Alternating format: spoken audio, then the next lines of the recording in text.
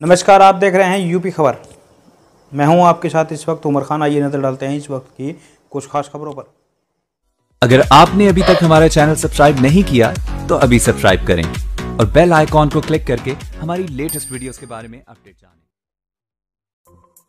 बागपतपुरा महादेव मंदिर पर लगे तीन दिवसीय फाल्गुनी मेले को लेकर आईजी डीएम और एसपी ने ली ब्रीफिंग मीटिंग।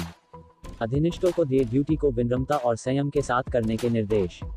लापरवाही मिलने पर होगी की जाएगी कड़ी कार्यवाही। क्षेत्र के पुरा गाँव स्थित ऐतिहासिक परशुरामेश्वरम महादेव मंदिर पुरा पर लगे तीन दिवसीय फाल्गुनी मेले को लेकर गुरुवार को आईजी प्रवीण कुमार, डीएम शंकुतला, गौतम और एसपी प्रताप गोपेंद्र सिंह ने मंदिर परिसर में बनी मेला कोतवाली में ब्रीफिंग मीटिंग ली। मीटिंग में आईजी प्रवीण कुमार ने कहा कि सभी कर्मचारी अपनी ड्यूटी को ईमानदारी, आस्था और श्रद्धा के साथ करें। ध्यान रखें कि जो भी शिव भक्त जल चढ़ाने के लिए आया है, उसका जलाभिषेक आसानी से हो। लाइनों में कहीं भी भीड़ का दबाव न बढ़ने दे और शिव भक्तों के साथ संयम के साथ व्यवहार करें। ड्यूटी करते समय बिल्कुल भी आक्रोशित न हो। ड्यूटी में लापरवाही मिलने पर कड़ी कार्यवाह की जाए। महाशिवरात्रि का मेला लगना है और पश्चिमी उत्तर प्रदेश में कांवड़िए आते हैं तो किस तरह के इंतज़ाम किए गए हैं सुरक्षा व्यवस्था को लेकर के? देखिए यहाँ पर सभी संभव जो सुरक्षा के उपाय होते हैं वो किए गए हैं। और इसी परिप्रेक्ष्य में जो यहाँ के आयोजक हैं, जो आयोजन समिति के लोग हैं उनके साथ, और जो पुलिस फोर्स और प्रशासनिक अधिकारी और पूरा जो अमला है, उनके साथ में अभी यहाँ के जो D M S S P हैं, उनके द्वारा पूरी समीक्षा बैठक की गई। उसके बाद उनको जो भी संबंधित लोग बाहर से ड्यूटी पे आए, उनको ब्रीफ किया गया। और उसी परिप्रेक्ष्य में मेरे द्वारा भी आज यहाँ पर निरीक्षण किया गया उद्देश्य ये था कि किस तरह से हम हमारे लोग, हमारी पूरी टीम वर्क के साथ में लोग रहें, अपनी ड्यूटी करें। जो श्रद्धालु आते हैं, जो कांवड़े आते हैं, उनकी पूरी श्रद्धा का सम्मान है। और साथ ही साथ सुरक्षा से कोई खिलवाड़ ना हो सके। हम सुरक्षा के जितने टेक्नोलॉजिकल डायमेंशंस हैं, उनको भी समावेश करते हुए और जो हमारी फिस्किंग की और जो हमारे एंटी सेबटा चेकिंग की व्यवस्था है वो दुरुस्त रहे वो सारे प्रबंध यहाँ पर कर दिए गए हैं। आज उसी के निमित्त यहाँ पर होता है। मेरठ जोन में कौन कौन से बड़े मंदिर हैं और कांवड़ मार्ग भी है नहर पटरी मार्ग है उन पर किस तरीके के?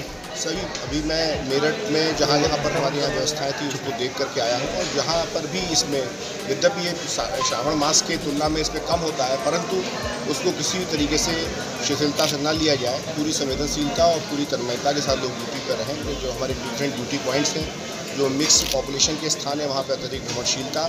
साथ साथ में जहाँ जहाँ से लोग आ रहे हैं उनको कोई असुविधा ना हो और पूरी सुरक्षा बेहतर तरीके से हो। सुरक्षा से किसी तरह से कोई समझौता ना हो और आस्था और श्रद्धा का पूरा सम्मान सुनिश्चित रहे। ऐसी व्यवस्था हम लोग करेंगे और हम उसे पूरी तरह से खुफिया खुफिया विभाग का कोई अलर्ट किसी तरीके का? देखिए कोई स्पेसिफिक अलर्ट नहीं है लेकिन हम लोग हर संभव आयाम पर विश्लेषण करते हुए अपनी सतर्कता रखते हैं और उसी के निमित्त यहाँ पर एटीएस की टीम भी है।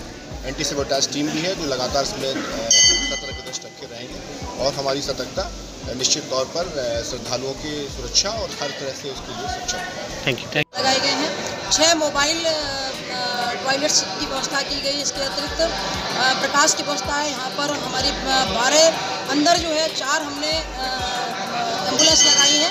और आप ये देख रहे हैं कि जो हमारी पूरा महादेव की जो पीएससी है, उसको पूरा इक्विप्ड किया गया है। अधिकारियों डॉक्टर्स की पैरामेडिकल स्टाफ की पूरी टीम लगाई गई इसके अतिरिक्त बारह हमारी एंबुलेंस फ़ूड व्यवस्था में लगाई गई हैं और जो हमारे दस, दो सी और आठ पीएससी जो पढ़ रहे हैं रूट व्यवस्था में, उनमें भी दवाइयों की उपलब्धता डॉक्टर्स की उपलब्धता और पैरामेडिकल स्टाफ की व्यवस्था सुनिश्चित की गई है।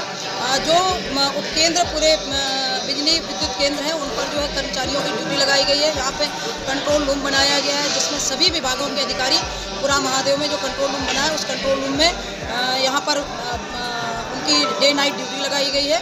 और 40 कैमरे लगाए गए हैं।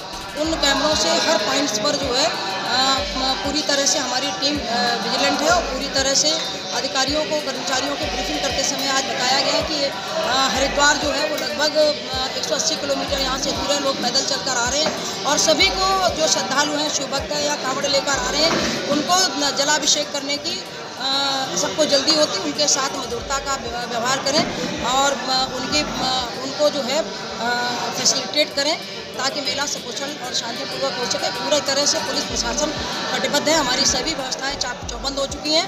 पूरी तरह मेला जो है शांतिपूर्वक, सकुशल, संपन्न कराएँगे। खाद्य खाद्य औसत सुरक्षा विभाग की हमारी टीम यहाँ पर लगी हुई